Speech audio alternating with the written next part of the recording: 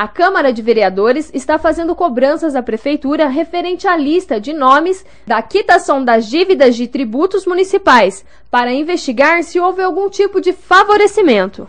É, na verdade, nós estamos, temos notícias que correm pela cidade que houve contribuintes, tanto na pessoa física como na pessoa jurídica, que teve algum privilégio e processos de dívidas é, é, tributárias, de IPTU, de ISS e outros tributos, não, não, não pagos, não quitados junto à prefeitura, é, deixaram de ser inscritos em dívida ativa. Isso representa uma irregularidade e, e, e, logicamente, um benefício à pessoa indevidamente.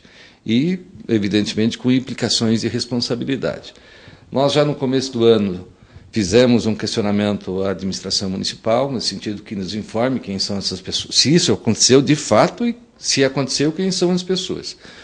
Prefeitura nos disse que não tinha naquele momento a condição de fazer esta informação, porque tinha algumas dificuldades em razão das mudanças administrativas da administração, mudança de pessoas, enfim, mas que nos encaminharia isso é, oportunamente. Passado eh, mais de cinco meses, nós estamos reencaminhando essa solicitação e espero que agora a Prefeitura tenha condição de nos atender. Porque se houve facilitação para alguma pessoa ou para alguma empresa, isso tem que ser apurado e as providências tomadas por quem de responsabilidade. O vereador aproveitou a oportunidade para falar sobre o projeto de redutor de velocidade e outras promessas que ainda não foram cumpridas.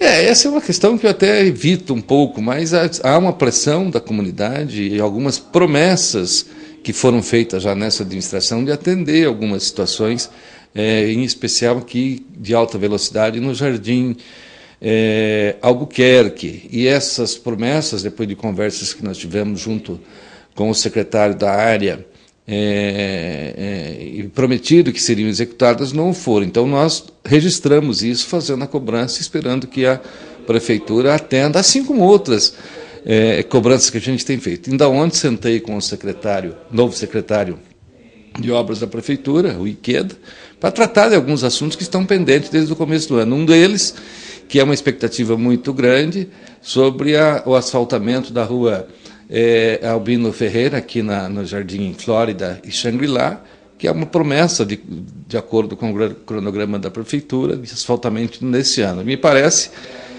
que deverá começar nesse ano, foi o que o secretário me disse, mas, no tanto, também não consegui me garantir. É uma expectativa, porque é um compromisso da administração é, que foi repassado à população através do Edson Batilani, vereador, e de outros vereadores também que têm lutado por isso.